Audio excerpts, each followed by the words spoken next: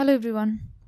Today we are going to discuss about a new topic that is pattern recognition and this is a very interesting topic and I have been studying about this for a couple of months and now I really find this interesting. So I was thinking that this will be uh, really helpful for you guys if you are thinking about uh, doing your final year research or thesis on this pattern recognition. So today I'm going to give a small introduction to pattern recognition. Let's start. Pattern recognition is the ability of machines to identify patterns in data and then use those patterns to make decisions or predictions using computer algorithms. A pattern can be defined as anything that follows a trend and exhibits some kind of regularity. For example, a pattern could be a fingerprint image, a QR code, a handwritten cursive word, a human face, or a speech signal, etc. The recognition of patterns can be done physically, mathematically, or by the use of algorithms. When we talk about pattern recognition in machine learning, indicates the use of powerful algorithms for identifying the regularities in the given data. The pattern recognition is widely used in the new age technical domains like computer vision, speech recognition, face recognition, etc.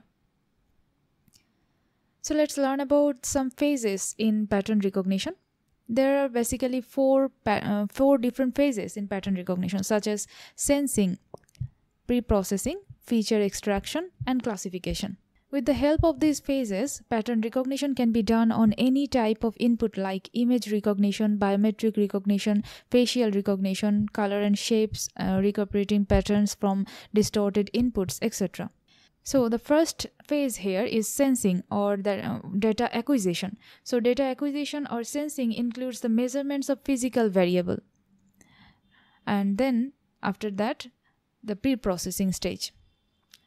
In this stage, the noise in the data is removed, and there are many other pre-processing based on the data that we are getting as input. Um, whatever um, process is required uh, before processing those data is actually included in this pre-processing stage and after that uh, the feature extraction. We are going to learn what is feature and what is uh, what do we mean by feature extraction in the later uh, slides. And at the last section that is classification. Using features and learned models to assign a pattern to a category. We are going to understand all of this later in the later slides. Let's go to the next one. So we have talked about a phase called feature extraction. Let's learn what is feature so feature can be considered as a measurement taken on the input pattern that is to be classified. Whatever we are doing here is, uh, you can see an image on the right side, right? There are some uh, circles and some uh, plus signs here. The circle represent ballet dancer. You can see it written um, below and the plus sign here represent rugby player. So we can say that uh, based on the weight and height, we have actually found the position of each person on this um, graph. So what we want to do here is we if some person tells their weight and height we are going we are going to assume or we are going to say if this person is a player or a dancer based on their height and weight. So this height and weight, these are the features. Based on this height and weight, we are going to tell if this person is a dancer or a player. That is what we say is classification. Either they are dancer or player. We are classifying them into two classes based on two features, height and weight. I hope you guys can understand this now. And let's see some more example. In character recognition, feature may be uh, features may include histogram counting the number of black pixels along the horizontal and vertical direction, number of internal holes, strokes detection, and many others.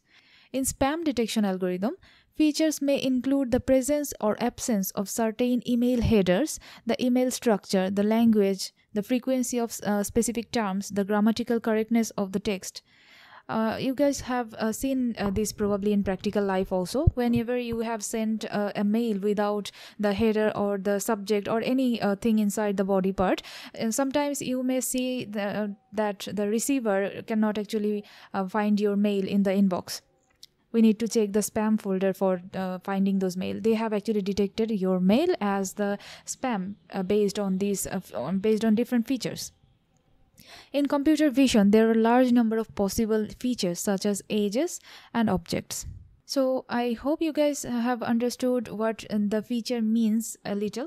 We are going to discuss about them uh, later also whenever we are going to learn about different algorithms in pattern recognition. So there is another term that is related to this feature extraction that is called feature vector. The feature vector is the sequence of feature represented as a d-dimensional column vector. If we make n measurements on our input patterns, each of which is a unique feature, then we can use algebraic notation to create a set of these features, call it a feature vector.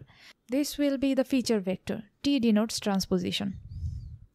There is another term that is called feature space. In pattern recognition, a feature space is an abstract space where each pattern sample is represented as a point in n-dimensional space. Its dimension is determined by the number of features used to describe the patterns. Here, the example we have uh, described previously is a two-dimensional feature space. So the next topic is feature extraction. By feature extraction, we mean to identify the inherent characteristics found within the image required. These characteristics are used to describe the object or attributes of the object. object. Feature extraction can be of several types feature directly extracted from pixels, derived features like shape factor, perimeter square divided by area, features obtained from spectral responses.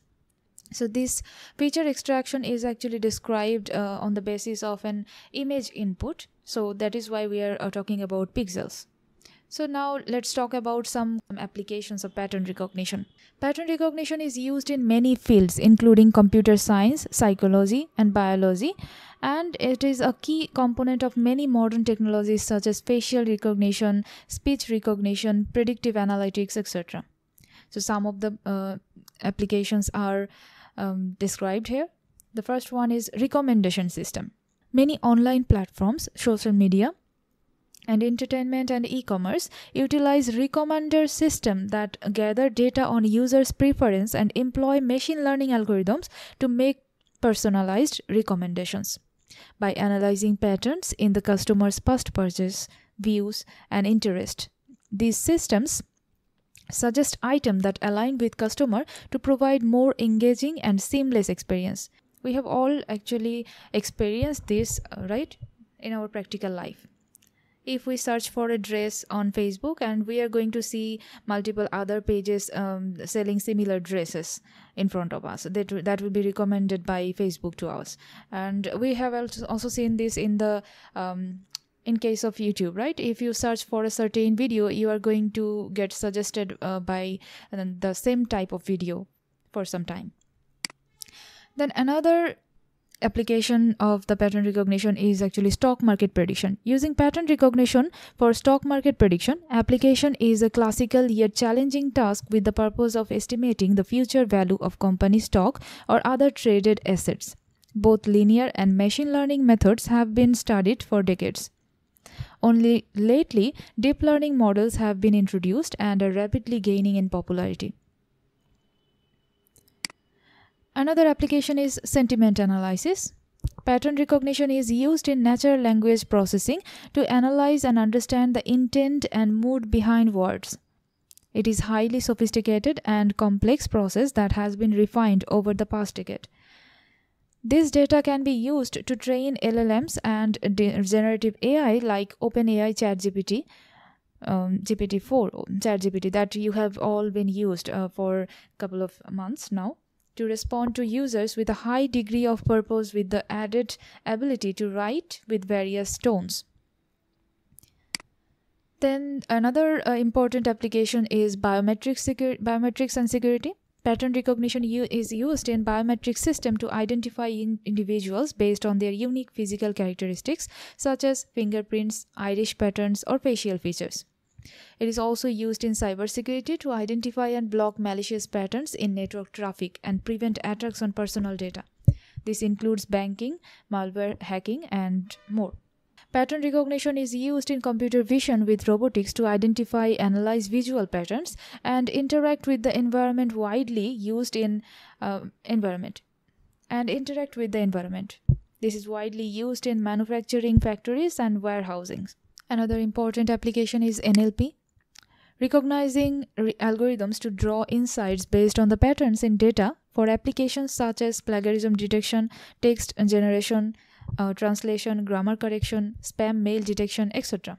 Pattern recognition algorithm allows to think out of the box and detect instances that human would not see or notice. Algorithm patterns can be de- uh, can detect very fine movement in data or correlations between factors across a huge amount of data. This is very important for medical uh, use cases. For example, deep learning models are used to diagnose uh, diagnose uh, brain tumors by taking images of magnetic resonance imaging. With neural networks, it became possible to detect patterns in immense amount of data. This enabled use cases that would not have been possible with traditional statistical methods. Pattern recognition is vital in the medical field, especially for forensic analysis and DNA sequencing. DNA sequencing. For example, it has been used to develop vaccines to battle the COVID 19 virus so that's all for today's video and this was the this was only the introduction. Later we are going to learn um, more about pattern recognition. Thank you